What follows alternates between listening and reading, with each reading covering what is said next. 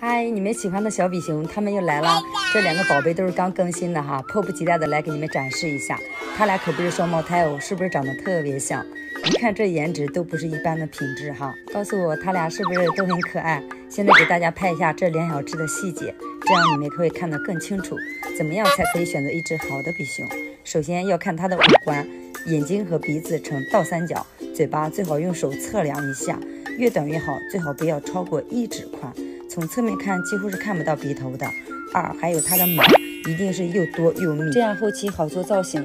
三，看它的体型，当然体型小的成年后会更好看，出门也方便携带。像这只狗狗的体型，一个巴掌就可以托起来，根本看不出它已经三个月了。四，就是选比熊呢，一定要选一只黑色素比较好的。像这只的话，脚垫、鼻头都是黑黑的，还这么乖，超级可爱。五，还有纯种比熊的腿一定要短哈，不能超过三指的，身形为长方体的。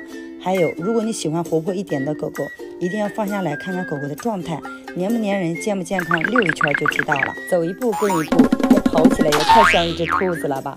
回到家无聊的时候，还可以陪着你一起疯，一起闹，一直粘着你。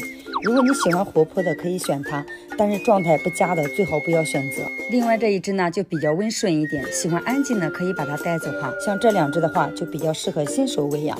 这么有意思的比熊，你们喜欢吗？